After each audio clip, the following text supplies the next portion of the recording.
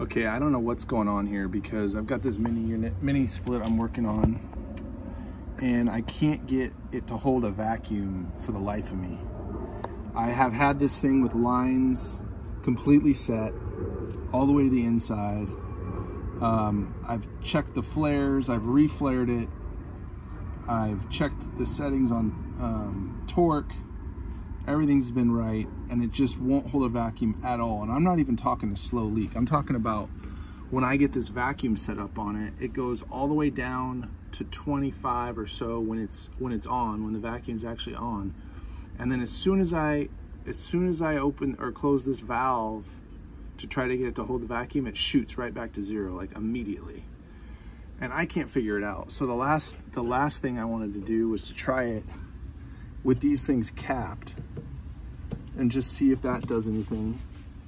Um, and so I got I got some caps to do it. And oh, and also I can tell you that I've tested it with just the gauge too. So I've taken this blue, taken this blue connector and just attached it to the back of the gauge set, which is, you know, this little guy here. And that doesn't do anything. And then it'll hold a vacuum perfectly when I do that. So the gauge isn't busted. In other words, there's not a hole in the gauge.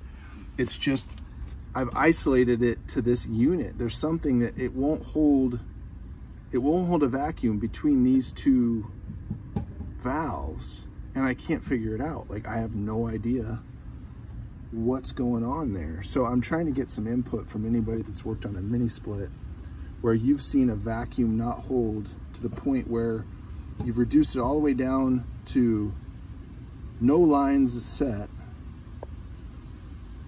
and capped, run the vacuum on the capped lines and it still drops to zero. It tells me there's something in the unit that's messed up or, or something, I don't know, but looking for any input on that.